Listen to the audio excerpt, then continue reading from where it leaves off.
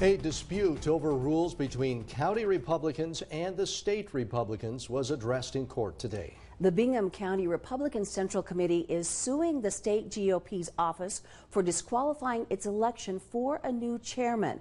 Local News 8 Seth Ratliff was in the courtroom today to hear the arguments. Seth, what did they have to say?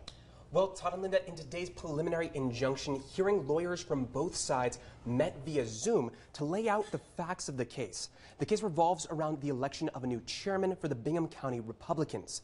They claim state GOP chairwoman Dorothy Moon declared the election invalid and announced her intention to hold her own election.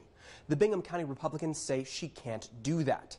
They accused her of bully tactics and dealing with them in a deceptive manner. Moon and the state GOP argued that the Bingham County Republicans broke party rules in their election.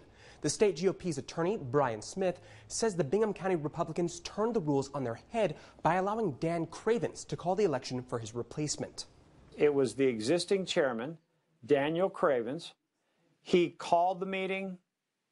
He also noticed the meeting, and he also presided at the meeting over his own replacement instead of letting the first vice chair do it. A complaint was filed to Chairwoman Moon. She's required under the rules to follow up, do her investigation. She simply applied the party rules and the state law.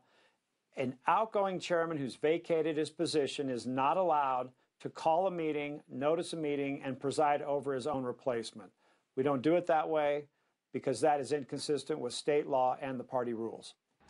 Judge Darren Simpson says he will take the arguments into consideration and make a ruling before the end of next week. However, earlier in the case, the judge did say, quote, quite frankly, I think the defendants, or the Idaho GOP, are correct in their interpretation, end quote.